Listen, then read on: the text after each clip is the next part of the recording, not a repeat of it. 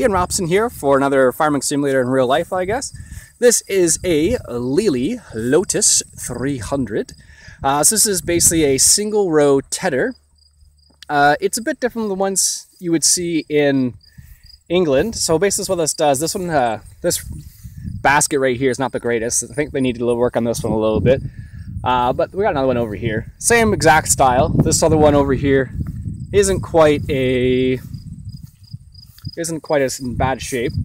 But uh, as you can see, the basket right here. So what happens is, this is where all the hay comes out of right here. It's where you're drying it.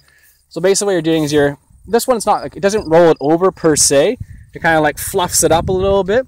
So when you're rocking through the windrow, it will kind of fluff it up. So it brings up the bottom stuff up to the top and uh, that will dry out your windrow a little bit faster. So I've actually used, I think it was that one over there.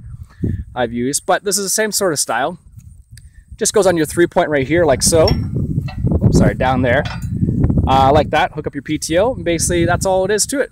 Pretty simple stuff. This is something you'd probably use in a smaller farm, not so much on bigger farms because it's probably not that efficient, but it does work, and it works fairly efficiently on smaller farms. So uh, there you have it. Uh, that's it. My name's Iain Robson. This has been Farming Simulator in real life, I guess, and I will talk to you guys later.